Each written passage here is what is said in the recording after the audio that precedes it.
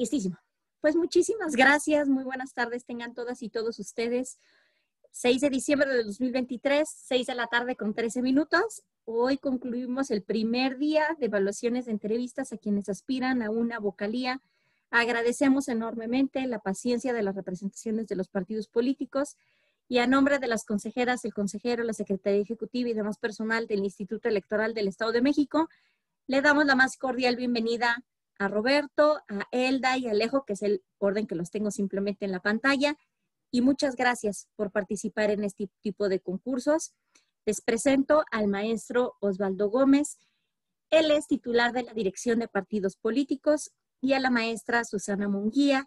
Ella es la titular de la Unidad de Género y su servidora Daniela Dura.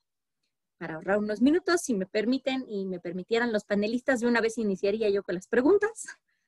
Mi pregunta sería saber un poquito más o menos sobre ustedes en temas de liderazgo. Si me pueden compartir máximo en dos minutos un caso, una experiencia de cómo realizaron una actividad o un proyecto en equipo, pero donde ustedes fueron las o el líder. Y en este liderazgo, cómo lo hicieron, cómo lo llevaron a cabo, tuvieron algún obstáculo o no, tuvieron problemas o no los tuvieron.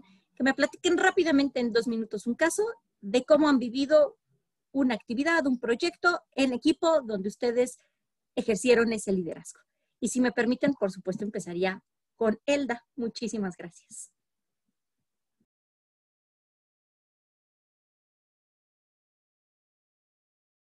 Tu micrófono, si fueras tan amable, Elda. Perdón. Buenas tardes, licenciada. Muchas gracias.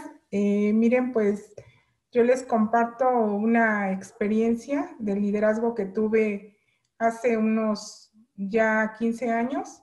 Tuve la oportunidad de ser directora de una institución donde, bueno, pues yo manejaba personal docente, administrativo y de seguridad. Ah, pues al igual que usted sabe, en una institución eh, es platicar con padres de familia, ver los los este, problemas o beneficios que se tienen dentro de la institución, al igual que compartir experiencias con los niños que eran menores de edad. Bueno, para mí, en lo personal, fue una experiencia muy bonita, que me sentí satisfecha por el trabajo que se realizó en ese momento.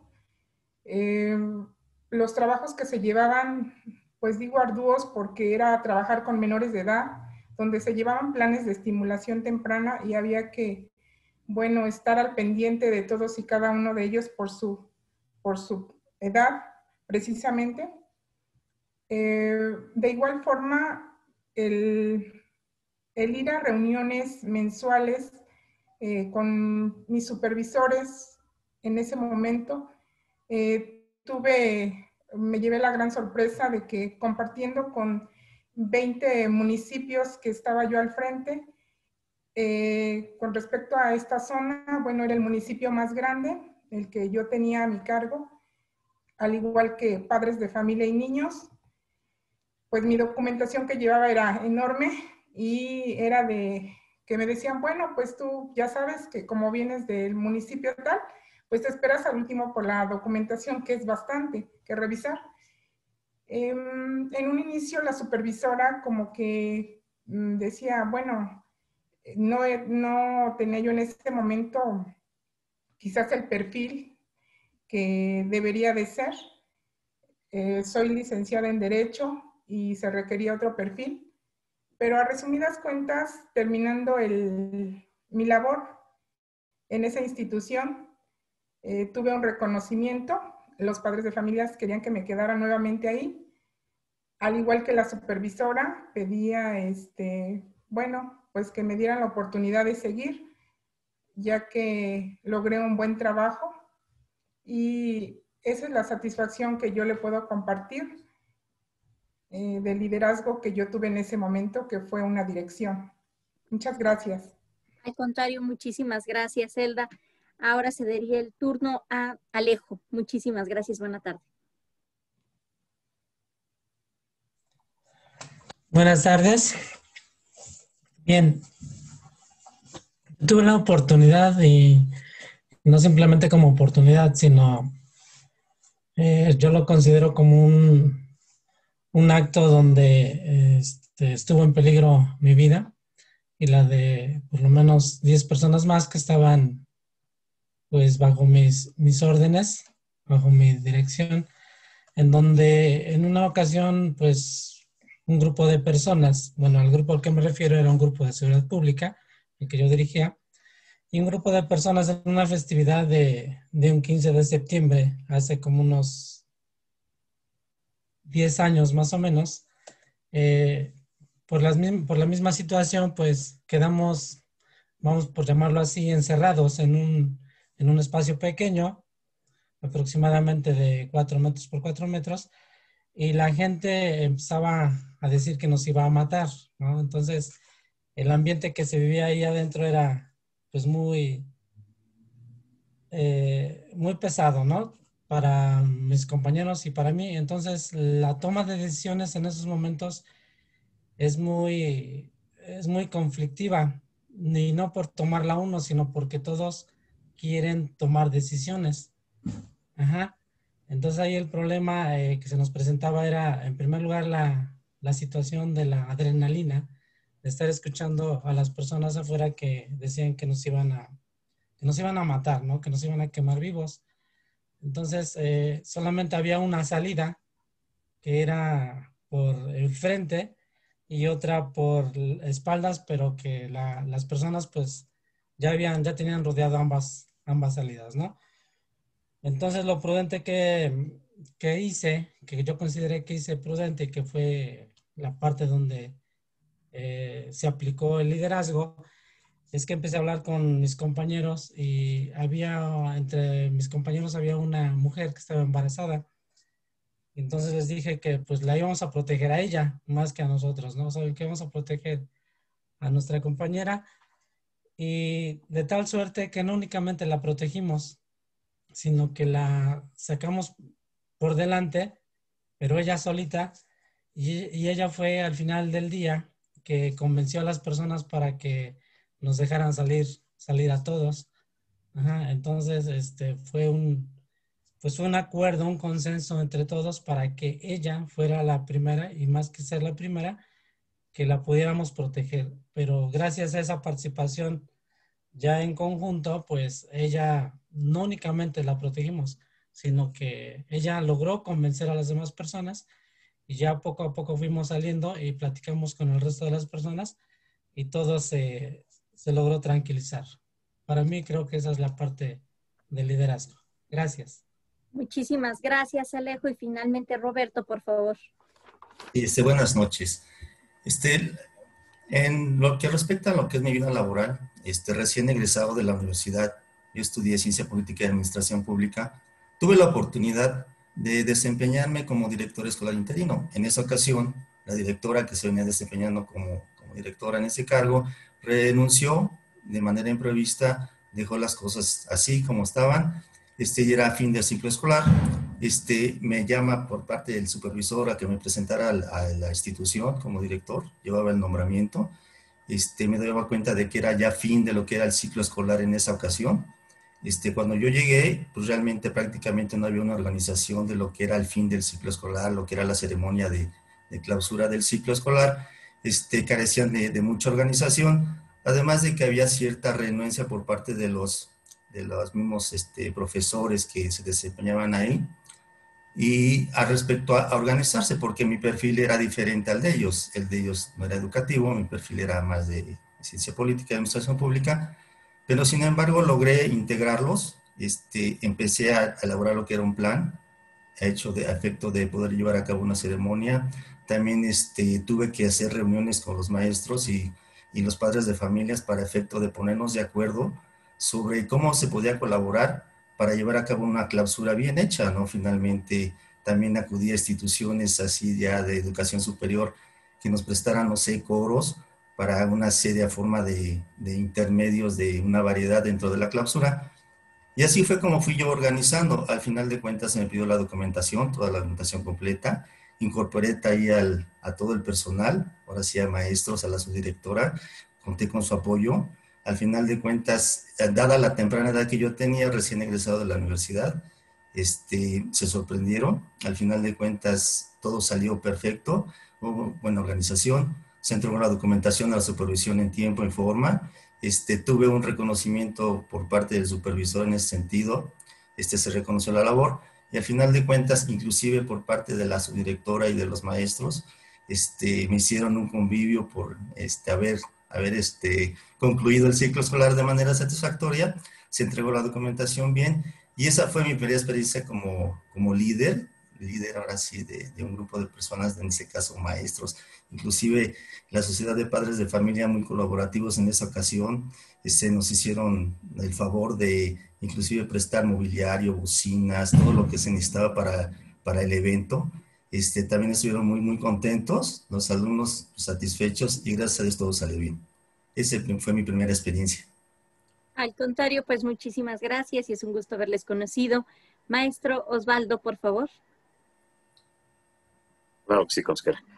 Yo les haría una pregunta para identificar el trabajo en equipo y les pediría que en su experiencia, ya sea eh, laboral o si es eh, en estas experiencias hay algo relacionado con algún proceso electoral, nos pudieran decir qué es lo que han identificado en esa actividad que me van a referir como la parte más complicada que tuvieron que resolver en conjunto como equipo, cuál fue su contribución ya en lo personal dentro de ese equipo de trabajo y si con ellos alcanzaron los resultados obtenidos.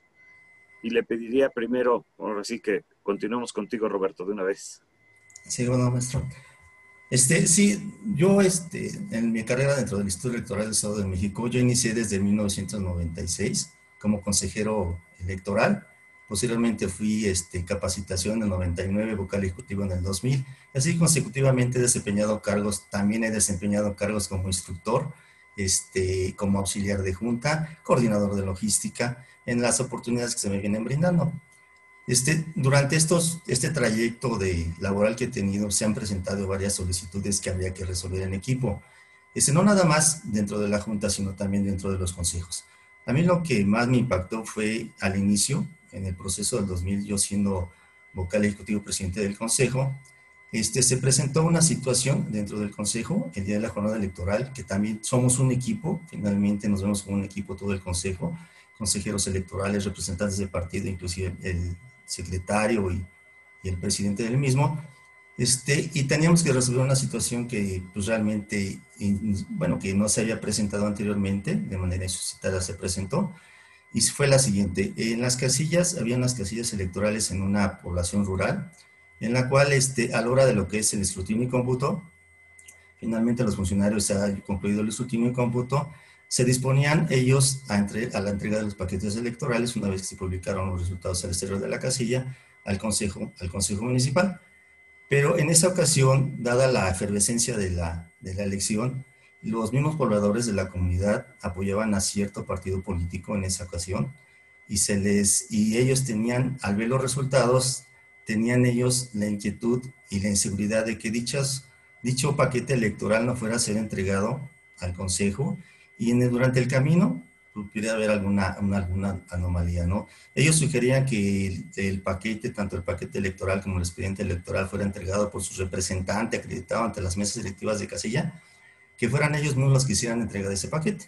Evidentemente que los funcionarios de mesas electivas de casilla, dado su compromiso que ellos tenían en esta ocasión, eran mujeres, me acuerdo, eran presidentas de mesas directivas de casilla, no soltaban el paquete, me comentaba el, capacitador que, que, no soltaban el paquete y que, y que lo tenían bien agarrado y que ellos tenían la responsabilidad. El capacitador en ese momento me informó que a la gente se les había informado de que era responsabilidad del presidente de mesa directiva de casilla entregar el paquete y que no podía ser el representante de su partido, ¿no? Entonces, en ese momento, cuando se me informa, yo le informo al pleno del consejo, nos ponemos de acuerdo, teníamos un problema que resolver, les comentaba, les di la situación y nos preocupaba la seguridad de los funcionarios de mesa directiva de casilla.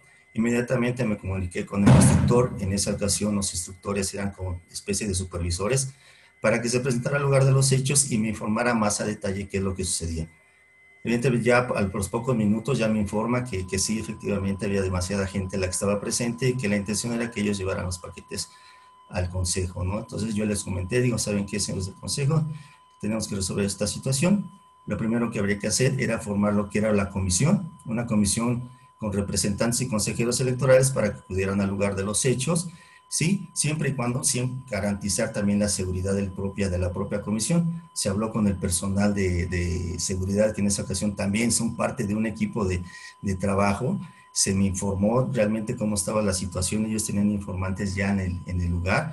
Me dijo que sí se podía garantizar la seguridad tanto de los funcionarios como del comité que, eh, la comisión que se había integrado y que iba a acudir al lugar de los hechos. Y así fue como acudió la comisión.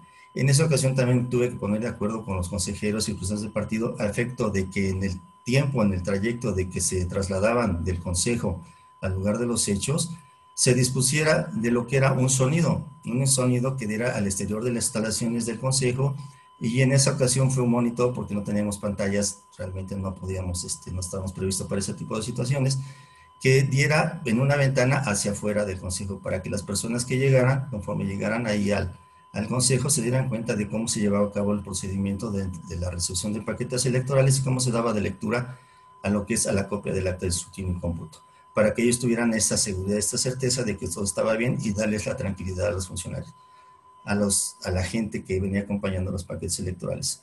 Y así fue como se dio, una vez que llegaron este, los, las personas y los paquetes electorales, se, yo tuve que hablar con los líderes del, del, grupo de estas personas a efecto de comentarles de que no podían acceder a la sala de sesiones, tanto por espacio como por seguridad, ¿no? Y que nombraran algún representante para que él ingresara a la sala de sesiones y se percatara de toda la situación de cómo se iba a llevar a cabo el procedimiento. En ese momento accedió, accedió una persona, se ingresó a la sala de sesiones y así fue como se llevó a cabo lo que es el, el, el, el cómputo de esas casillas. Y al darse cuenta la gente de que todo estaba correcto, que no había ninguna anomalía y que todo era transparente, poco a poco la gente se fue dispersando y nosotros continuamos con el desarrollo de la sesión de manera normal. Y así fue como concluimos. Es todo. Muchas gracias, Roberto. Ahora, por favor, si nos hace favor, Alejo. Sí, buenas tardes.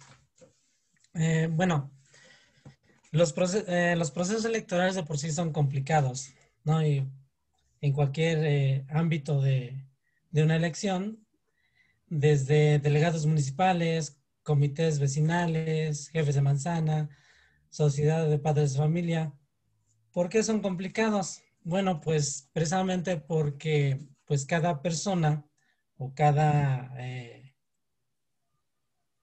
grupo quisiera tener un representante en algún lugar. ¿Cómo se logra esta parte de, de quitarle lo complicado a, esas, a esa situación? Bueno, en primer lugar, pues cumplir con lineamientos previamente establecidos para que esas personas que en ese momento son candidatos, pues desde ahí se den cuenta que tengan certeza que es, eh, es legal. Y cuando estamos ya en los resultados, pues ahí viene otra situación, ¿verdad? Que igual, la misma situación, nadie quiere perder, como en cualquier contienda, ¿no? Todos queremos, todos queremos ganar, pero afortunadamente o desafortunadamente solo habrá un vencedor.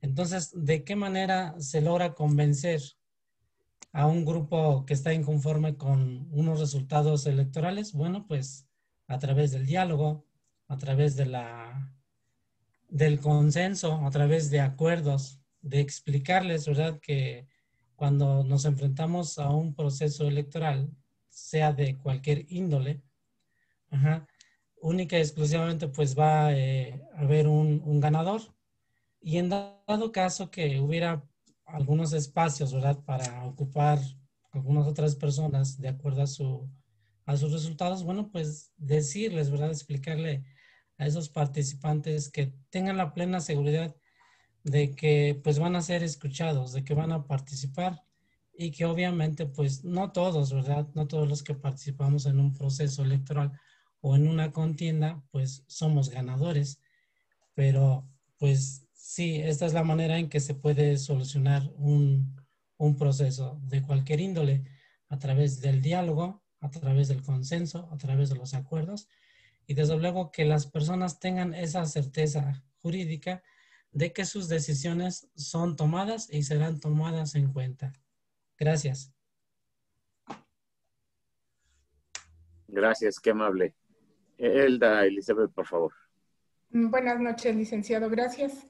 Eh, bueno, pues de mi parte, lo que usted, eh, la pregunta que nos hace referente al trabajo en equipo, creo que estoy acostumbrada, pues durante toda mi vida a trabajar en equipo, ya que pues he tenido la oportunidad de ser presidenta eh, de la Asociación de Padres de Familia, al igual que tesorera en dos años consecutivos. Y bueno, pues es mm, formar parte de una institución y mm, ver eh, los problemas, lo que hace falta, lo que no a la escuela es este, estar platicando constantemente con los padres, hacer reuniones y llegar a un, a un buen acuerdo. Este, claro es tomando en cuenta las circunstancias en las que se encuentra en ese momento la escuela y, y los medios con los, que, con los que se cuentan. Ese es por un lado. Por el otro, bueno, he tenido la oportunidad también ya de trabajar en dos procesos electorales, en el 2018 y en el 2021 Tal vez, bueno, he tenido cargos, eh, este, digo, de auxiliar de logística, que me dieron, pues yo digo, un amplio panorama, el cual tuve el acercamiento con, pues, la gente, porque era quien llevaba, era la responsable de la participación ciudadana, pláticas informativas que salía yo a, este, a dar en instituciones o con personas de la misma comunidad, del municipio, el cual me, dio la interacción de conocer, bueno, diferentes grupos de, pues, de asociaciones civiles y demás, en las que impartí esas pláticas precisamente de información con respecto al voto.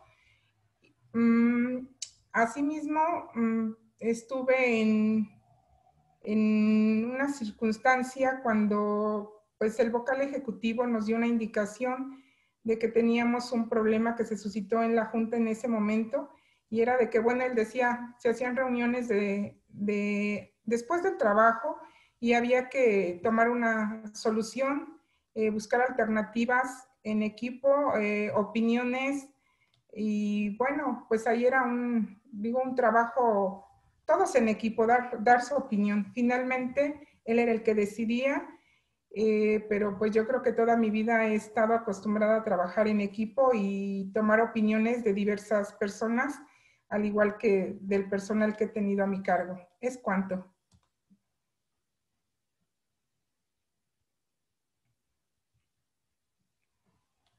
Muchas gracias. Y ahora, este, por favor, consejera, de mi parte ha sido cuánto y se debía la palabra. Al contrario, muchísimas gracias, maestro Osvaldo Gómez. Tendría el uso de la palabra la maestra Susana Mungi. Muchísimas gracias, consejera. Un gusto saludarles. La siguiente pregunta tiene que ver con el tema de negociación. Quisiera eh, que nos pudieran contar si han tenido alguna situación complicada en la que hayan tenido que convencer a alguien o alguna instancia para poder realizar alguna acción eh, que consideraron importante para su trabajo y les pediría que fueran muy específicos y específica sobre qué herramientas de negociación utilizaron y cuál fue el resultado de esa negociación. Em, comenzaríamos contigo, Elda. Buenas tardes, licenciada. Eh, como comentaba hace un momento, bueno, formé parte de la Asociación de Padres de Familia de la institución de la escuela primaria de mi hijo y bueno, eh, se daba que en esa escuela no tenía eh, luz y los padres de familia precisamente pedían ese, ese apoyo por parte del municipio y nos dimos a la tarea de, eh, como representantes, de ir a ver al presidente municipal, el cual pues nos dijo este, que sí nos apoyaría con, con lo de la luz eléctrica, pero que teníamos que poner obviamente padres de familia 50%. Y sí, este, platicando con, con la reunión con padres de familia, llegamos a un, a un acuerdo eh, donde decían, bueno, sí, este, es el alumbrado público para la escuela, se requiere de postes este, y demás, el cual eh, fuimos a la comisión de, de electricidad CFE y nos decían que en ese momento, bueno, pues no, no, nos, no nos brindaban el apoyo, pues no lo tenían.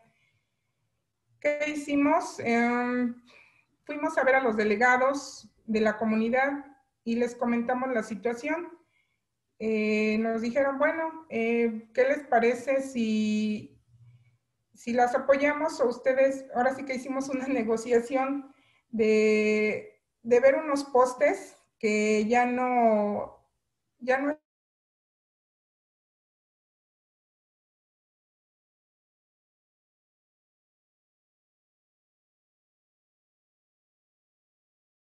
para comentarles la situación y que nos dieran ese permiso para, para trasladar, sacar esos postes y trasladarlos a la escuela primaria.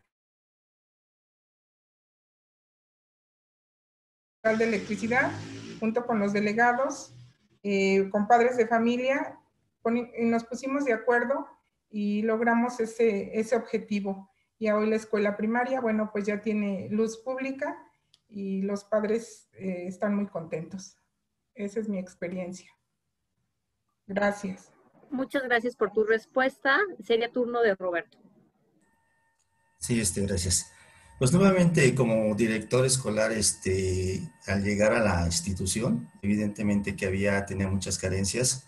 Una de ellas era la, los sanitarios, ¿no? Que finalmente no funcionaban, estaban en malas condiciones este, dado el pequeño tiempo que yo estuve dentro de la escuela, me di a la tarea de, de poder este, subsanar ese problema, de poder remediarlo para que los alumnos tuvieran unos sanitarios dignos.